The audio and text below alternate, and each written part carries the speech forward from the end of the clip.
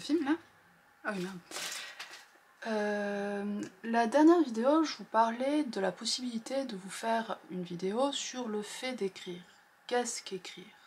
En quoi ça consiste exactement?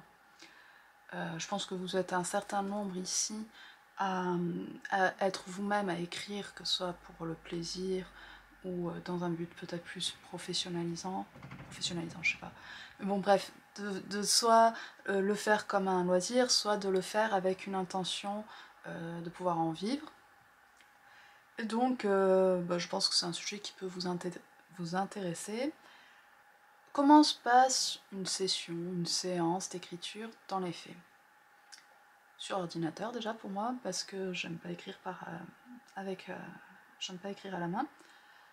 Parce que j'ai l'impression que ma pensée va trop vite et que seul le clavier parvient à peu près à suivre le cours de la pensée et le cours de l'inspiration. Et, euh, et voilà, et donc surtout je m'y suis habituée, il y a une certaine euh, sensorialité qui est différente. Euh, moi je trouve plus de praticité quand même à travailler sur Word ou sur l'ordinateur. Je sais qu'il y a beaucoup de gens qui ont un peu un... C'est un peu comme pour la lecture, ils ont des, des, manières de fétichiser l'acte d'écrire, soit avec des belles plumes, soit avec des vieilles machines à écrire ou ce genre de trucs. Euh, pour moi, ça c'est un peu des trucs que feraient les débutants qui n'ont pas encore la confiance suffisante dans leur, euh, dans, leur nouvelle passion, quoi, on va dire. Et qui sont obligés d'acheter de, des petits trucs qui font, euh, qui rentrent dans, performer en fait le, le devenir écrivain avant de le devenir vraiment. Enfin, après je dis pas que tous les, toutes les personnes qui écrivent sur euh, à la main c'est comme ça, je pense qu'il y a peut-être des gens qui ont une sensualité, une sensorialité différente qui est plus euh, charnelle. Je pense qu'il y a peut-être des qualités comme ça. Peut-être de, de, Je pense qu'il y a aussi l'histoire du cerveau qui est conditionné d'une certaine manière si on l'habitue à faire les choses dans une situation et que cette situation se reproduit à avoir certaines facilités, à, à, s'ouvrir, quoi. Parce que je pense que c'est vraiment ça, en fait. Le, fait d'écrire, c'est c'est pas forcément... Bien sûr, on a tous un plan, donc c'est... Enfin, je pense que pour écrire, avoir un plan, c'est une bonne idée pour savoir à peu près où on va. Mais il faut avoir une certaine faculté à lâcher prise, à suivre les intuitions, à suivre les chemins, les pensées étranges que, vers, vers où nous mène notre cerveau, à ne pas être fermé à la recherche littéraire, tout simplement. À une image qui est un peu absurde, à, une digression qu'on n'aurait pas imaginée en premier lieu. Et pour ce faire, moi je trouve que la meilleure solution quand même, c'est euh, de se forcer, entre guillemets, à écrire un certain nombre de mots, de pages par jour, ou écrire tant d'heures, ou écrire, enfin, d'avoir de savoir que tant qu'on n'aura pas terminé euh, sa session, sa séance d'écriture, on ne fera pas autre chose. Et euh, de se fixer un objectif comme ça qui fait que on sait bien qu'on sera obligé d'écrire de, et parfois on peut être comme tenté, avoir l'impression que c'est du remplissage qu'on va faire en allant dans cette digression ou cette digression, et en fait on s'apercevra après que le livre se trouve là, dans ces terrain, dans ces chemins euh, qui n'étaient pas qui n'étaient pas destinés à, être exploités au départ. Et moi je trouve que c'est un peu similaire en fait à quand on, ouvre un livre et qu'il n'est pas exactement celui que nous a vendu la quatrième de couverture.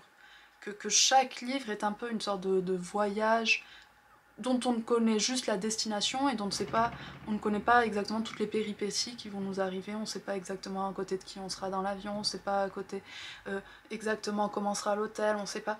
Et, et, voilà, et donc c'est ça, c'est accepter l'inconnu. Donc voilà. Déjà, une des premières qualités, je pense, à avoir pour, euh, pour écrire, c'est ça, c'est euh, accepter je, trouve qu'il y a beaucoup de gens qui font des vidéos d'écriture qui sont hyper balisées, hyper structurées, hyper carrées et très en fait euh, inspiré, je pense, des scénarios à l'américaine, un peu de méthodes, avec un récit en trois temps, cinq temps, un récit en, toile de étoile de neige, un truc comme ça. Euh, c'est quelque chose que j'ai pu faire parfois. Dans la phase, je trouve, de, pour écrire son plan, ça peut, ça peut le faire, ça peut faire la blague, parce qu'après tout, euh, tout récit structuré peut amener une certaine satisfaction lors de la lecture. Mais plus le temps passe, plus j'ai quelques lignes comme ça et, et allons-y quoi. Je trouve qu'il y a quelque chose en plus de... Si on, si on décide d'y penser d'un point de vue politique, de quelque chose un peu, euh, comme ce que je dis souvent sur les, récits qui sont un peu netflixiens, qui sont un peu trop... Euh, en fait c'est un format, une sorte de niche. Euh, par exemple, je sais pas, vous faites une histoire de fantasy ou un truc comme ça, donc il faudrait que tel personnage soit comme ça, tel l'antagonisme comme ça, il faut surtout pas qu'il soit un peu comme ça, parce que sinon ce sera plus tout à fait la même histoire et donc on pourra plus tout à fait le vendre en tant que fantasy euh, new ou urbaine ou je ne sais quoi. Et, voilà quoi. Et, donc je trouve qu'en faisant ça, finalement on perd ce qui est le mieux dans cette création, dans ce côté créatif, bah c'est ça, c'est le fait de se perdre quoi. La lumière est super, c'est... Donc dans les faits, comment ça se passe? Crois que j'ai déjà dit ça, mais bon bref. Dans les faits, je vais sur mon ordinateur et voilà, en gros, moi, je sais pas si ça peut aider, j'ai un petit truc sur Canva là où j'ai le nombre de mots que je dois faire par jour et je divise ça par 1000 mots. Et comme ça, j'efface à chaque fois. Et il y a quelque chose de satisfaisant un peu. Euh, et, c'est un peu con. Mais moi, c'est comme ça que j'arrive à me cadrer, à savoir que je vais pas procrastiner parce que je pense que. Oh, mais la lumière est horrible là On se croirait en enfer. Que je ne vais pas procrastiner, que je ne vais pas euh, remettre ça à demain, donc euh, le synonyme parfait de procrastiner. Ce qui permet aussi d'avoir parce que quand on écrit énormément de mots comme ça, on se dit que on arrive à terminer le premier jet euh, en peu de temps, en deux mois ou quelque chose comme ça, voire même moins. Et moi, ça fait un moment que j'écris comme ça, euh, très très vite et, un peu comme un, sprint quoi. Et je trouve que c'est une, façon qui me convient bien parce que justement, une sorte d'urgence, et rien que dans le style, rien que dans la phrase, dans la structure de, mon paragraphe, je vois que mes voix sont beaucoup plus sincères et authentiques avec cette urgence parce qu'il y a, y a, comme quelque chose de plus vivant qui sort. Alors que quand j'écris plus tranquillement, je réfléchis plus à chaque mot précisément, c'est quelque chose comme un travail d'orfèvre un peu. Ça peut gagner peut-être un peu en style, mais, mais ça va perdre, ça va avoir peut-être un côté un peu maniéré, un peu artificiel. Je trouve que c'est mieux là quand même finalement. Bref, je sais plus ce que je disais. Oui, que quand j'écris pas énormément, euh, je fais plus attention à chaque petit mot, nanana et tout. Et que du coup, euh, ça peut perdre un peu euh, de, cette urgence dont je parlais, de cette de, vibrance, quoi, de, vie. mais j'aime bien parfois alterner et pour certaines scènes, en fait, je trouve que c'est pas mal. En fait, là, euh, on voit que je sais plus où j'en suis. Donc, je vais parler peut-être de plutôt comment, comment une scène s'écrit. Donc, je m'aperçois en fait qu'un des principaux défauts de mes livres, c'est que les scènes ne durent pas. C'est quelque chose aussi que je remarque dans la littérature. C'est que les scènes sont trop courtes et que du coup on est parfois obligé de trop expliquer euh, en faisant les liens entre les scènes dans ces petites... Euh, euh, comment dire? En fait, un livre, c'est souvent une scène qui est longue, après, il y aura... on résume le temps qui passe petit paragraphe ou deux, on reva sur une autre scène, et voilà, et on raccorde comme on peut, sauf quand parfois c'est des livres qui, ont, qui vont être sur un temps très court, sur deux jours, trois jours, où là on va essayer de détailler le plus possible les scènes s'enchaînent en fait sans vraiment de coupure ou avec des coupures très courtes. Et euh, pour mon livre sur le Maroc, par exemple, ça c'était pratique parce que finalement j'ai tout écrit à peu près de ce que je me rappelais, de ce dont je me souvenais. Et, euh, et, voilà, et donc euh, bien sûr qu'il y a des coupures, bien sûr qu'il y a des, faux raccords ou des choses comme ça, mais je trouve que là par exemple où j'essaye de faire quelque chose de, autofiction un peu plus classique sur l'enfance et ce genre de choses, c'est la difficulté à la fois parce que on ne se souvient pas forcément de tout ce qui nous est arrivé, donc il y a des zones d'ombre, donc avec quoi les remplir ces zones d'ombre? Euh, Moi là dans mon cas c'est soit je dis justement que c'est des zones d'ombre et que je m'en rappelle plus, coupure quoi, ou alors ce que j'essaye de faire c'est remplacer avec euh, de l'invention quoi, de la, et partir sur d'autres personnages que moi pour, euh, pour voilà pour, pour apporter une certaine lumière mais c'est plus là le, narrateur adulte qui crée que ce sera pas une autofiction euh, très fiable, on va dire, en termes de, pacte autobiographique. Donc une scène, pour moi, qui est donc le ciment vraiment du livre, il faut qu'il y ait un peu de dialogue, il faut qu'il y ait certaines euh, personnes disent qu'il faut qu'il y ait un début, une fin et nanana comme un livre. Je suis pas sûre, je pense que justement, en plus là, comme c'est un truc de, sur la mémoire, ça peut couper comme ça, on n'est pas obligé de faire tout le temps une petite chute. Je trouve que ça, aurait un côté très artificiel, et à la fin, on aurait peut-être l'impression que le livre euh, est, trop, comme ça, justement, encore une fois, trop euh, scénarisé à l'américaine. Mais il faut qu'il y ait comme un enjeu. Pourquoi j'écris cette scène et pas une autre? Qu'est-ce qu'est-ce qu'elle apporte? Est-ce qu'elle apporte forcément quelque chose à l'histoire? Pas forcément. Pourquoi on décide de la faire? Pourquoi euh, est-ce qu'on veut creuser un autre personnage? Est-ce que elle veut nous permettre de discuter sur un sujet de société ou ce genre de choses? Ça, arrive quoi, je pense euh, à, Welbeck c'est le genre de, de truc qu'il ferait. Mais ça c'est un truc qu'on fait plutôt à la relecture, de toujours se demander pourquoi j'ai écrit ça, est-ce que cette scène, est-ce que cette image, est-ce que cette phrase? Est-ce que ce que j'ai entre les, mains, devant les yeux, euh, est-ce que le lecteur en a besoin? Est-ce que c'est nécessaire? Est-ce que c'est pas superflu? Et ça, c'est pas toujours facile à déterminer. Là, j'ai vu pour mon dernier, j'ai dû enlever des choses que je trouvais bien écrites, mais juste parce que je trouvais que il fallait, comme j'écris souvent des livres longs, il fallait quand même rester euh, dans le nœud de l'histoire qui est toujours un rapport quand même plus ou moins établi avec l'intrigue principale. Donc ensuite, dans une scène, il faut souvent, moi je trouve, qu'il y ait des descriptions. Mais pas par description, j'entends pas forcément euh, des gros pavés euh, sur euh, à la Zola, sur le, vêtement, la lavalière, les boutons.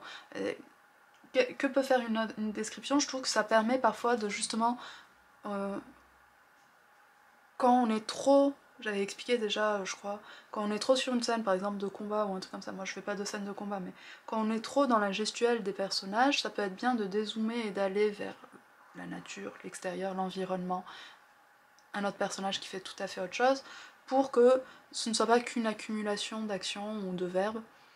Et la poésie, pour moi, vient souvent par les descriptions, par un côté... Euh, je trouve que ce qui est souvent bien dans, c'est de voir que malgré ce qui arrive toujours à nos personnages, le monde autour est semblable à lui-même. Le, monde autour est toujours un peu euh, similaire, les oiseaux continueront de chanter même si euh, la mère du personnage euh, ne va pas bien ou ce genre de truc. Et, c'est ça qui peut amener quelque chose, une sorte de décalage entre l'émotion que ressent le héros, ou le personnage, et ce qui se passe autour de lui. Mm. Pour les dialogues, comme pour le reste, euh, je trouve que ce qui est important, c'est de supprimer chaque chose qui nous paraisse sonner faux. Euh, après, bien sûr, il y a des dialogues qui sont un peu plus écrits que d'autres, mais je trouve que il y a beaucoup de, textes, euh, même en édition traditionnelle, où il y a les salutations, les ceci, les cela. Et encore une fois, je veux pas avoir une, image utilitariste, de, la littérature, des dialogues ou de ce genre de choses. Mais je pense que si on peut se passer de telles choses, enfin moi je, pense que mes dialogues, souvent j'efface la moitié presque au moment de la relecture. Euh, par exemple, s'il y, a, un personnage qui parle et que l'autre il fait juste euh, oui, oui, t'as raison, ou ce genre de truc, on peut l'enlever. Et juste par le geste qu'il aura d'approbation ou même son silence, peut même plus signifier apporter justement cette poésie qui aurait pu manquer dans la scène. Euh, faut faire confiance au taiseux et faut faire confiance à, ça, au silence, au blanc, euh, au malaise. Voilà, que dire d'autre? Euh, Écrire, c'est aussi essayer de se concentrer sur si on était au théâtre, je dirais presque aux accessoires, mais c'est pas vraiment la même chose. Là par exemple, la scène que je fais se passe devant une cheminée. Et donc, il faut essayer de se rappeler quel est le matériel qu'il y a dans une cheminée, sans que ça fasse artificiel, mais c'est juste, je me rappelle d'un geste d'enfant que j'avais souvent, c'était de mettre ma main sur les espèces de grosses boules qui servent à contrer le feu. Donc j'avais aucune idée, je me rappelais plus du tout du nom de ce truc, même je crois que je ne l'ai jamais appris. Et c'est en cherchant que j'ai vu que ça s'appelait le chenet ou les chenets, une paire de chenets. Donc, et donc voilà, et donc il faut chercher ça sur internet et après essayer de décrire un petit peu et qu'est-ce que, qu'est-ce que, pourquoi un enfant fait ça, mais non, faut pas l'expliquer, mais justement le geste d'un enfant qui pose sa main sur ce truc apporte cette dose de réalisme et de crédibilité et permet justement par exemple de couper un dialogue qui était trop bavard ou euh, de, je pense vraiment d'essayer de, de se concentrer toujours sur que ferait un être humain dans cette situation euh, Exactement, qu'est-ce qui, qui ferait que j'ai déjà fait? Je crois qu'il y a trop d'auteurs qui écrivent sans jamais se demander si eux-mêmes feraient ce genre de geste, qui essayent de, de soi donner des gestes très euh, stéréotypés, très... Euh, je sais pas, j'ai le mot badass dans la tête, genre de, ouais, le, le, personnage, on veut le rendre cool, on veut le rendre iconique, donc on va le faire faire ça. Et c'est ça qui fait des personnages très pauvres finalement. Euh, mais après, je sais bien que je dis ça, je m'attaque pas vraiment à la littérature dite blanche quand je dis ça. quoi. Euh, j'ai pas écrit vraiment mon truc, donc euh, je sais pas sur de quoi je parlerai la prochaine fois. Dites-moi si ça vous a intéressé. Je sais pas trop si c'est très intéressant pour des lecteurs de savoir comment ça marche. Après, en plus, moi je ne sais pas si tous les auteurs font comme ça, je pense pas. Mais en fait, c'est tout le temps un travail entre à la fois on est dans une sorte de transe d'hypnose parce qu'on écrit, et à la fois après il faut essayer de sortir de cette transe et de réfléchir d'un point de vue euh, narratif, est-ce que, est que tout est bien, est-ce que... Et, j'aime beaucoup ça en fait, le, le, vraiment le... d'un côté le flow qui sort dans un premier temps, on écrit tout comment ça nous vient, et après ce côté plus calme où on se relie, ça peut être juste une heure après, on se relie et on voit les lumières, est-ce qu'elles ont été mises au bon endroit, est-ce que est-ce que ça va, est-ce qu'on doit pas ajouter un peu ici quelques lignes, est-ce que... Et, c'est comme ranger sa chambre un peu, ou faire quelque chose comme ça, où on, remet les briques de Tetris dans le bon sens quoi. Au début on, balance toutes les briques et là on... c'est justement ça qui me plaît vraiment. Donc euh, mes métaphores sont pas super. Je vous remercie de m'avoir regardé et je vous dis à très bientôt.